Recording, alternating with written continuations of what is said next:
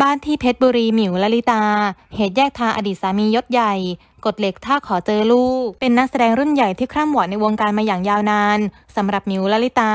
ที่ฝากผลงานเอาไว้มากมาย ทางหน้าจอให้แฟนได้ติดตาม ในปัจจุบันนอกจากจะทำงานในวงการบันเทิงแล้ว และเป็นคุณแม่ของบุตรชายทั้งสอง ตัวเธอยังเป็นเจ้าของร้านกาแฟที่จะอำด้วย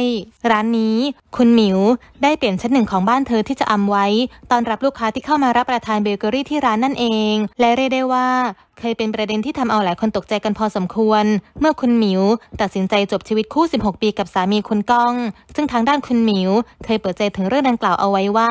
ตรงนี้ก็จบไปแล้วนะคะ ก็แบบที่ทราบกันตอนนั้น แล้วก็ไม่ได้อยากจะพูดอะไรมาก เพราะว่ามันก็เป็นเรื่องส่วนตัว และก็เป็นเรื่องของครอบครัว อีกอย่างมันเกี่ยวเนื่องกับคนอื่นด้วย และถ้าเกิดพี่มาพูดคนเดียว มันก็อาจจะไม่ดีก็ได้นะคะ ดังนั้นตรงนี้ก็เป็นไปตามที่ทราบกันแบบนั้นล่ะค่ะชีวิตคู่อาจจะไปด้วยกันไม่ได้ แต่ความเป็นพ่อเป็นแม่ของมิวกับก้องยังอยู่ครบ